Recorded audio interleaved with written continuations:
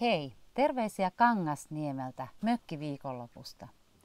Itse aloitin jo muutama viikko sitten työt ja nyt lataan taas akkuja tuleviin viikkoihin, ehkä jo syksyn käynnistämiseen. Mutta miten pitää yllä se palautuminen, rento ja hyvä olo, mitä monet meistä on saanut kesän aikana rakennettua itselleen, poikkeuksellisen epävarman kevään jälkeen?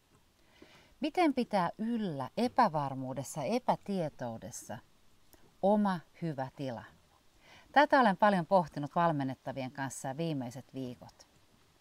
Me emme tiedä, minkälainen syksy meillä on tulossa. Paljon epävarmuuksia, epätietoisuutta, kouluista, etätöistä, normaalista työstä, maailmantilanteesta. Mutta me voimme joka ikinen aamu, joka ikinen päivä valita, miten me johdetaan omaa energiaa. Me voimme tehdä töitä oman sisäisen maailman kanssa silloin, kun ulkoinen maailma hämmentää ja ehkä jopa välillä pelottaa.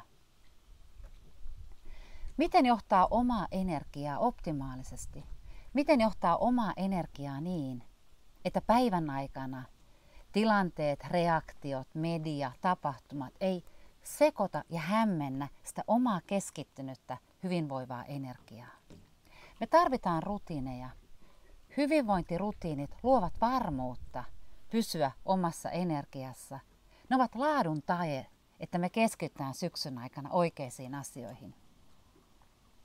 Kutsun sinut mukaan 17.8. alkaen 21 päivän Jaanan aamu mahdollisuuteen virittää itsensä jokaisen aamuun kello seitsemän. Oma iso muutos tapahtui noin viisi vuotta sitten jonka jälkeen olen jokainen aamut pysähtynyt omalla tavalla ohjaamaan omaa energiaa liikkeen, hengityksen, tietoisuusharjoituksen, rentoutuksen, mielenharjoitusten kautta. Näitä vinkkejä ja ajatuksia tuon sinulle 21 päivää.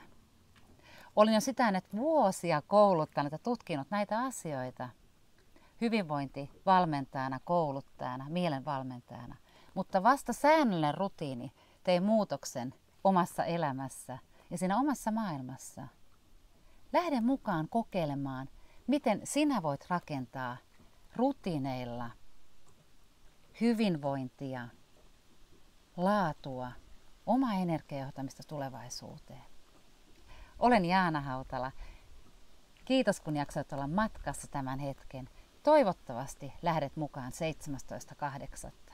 Luodaan hyvinvoivaa syksyä meille suomalaisille.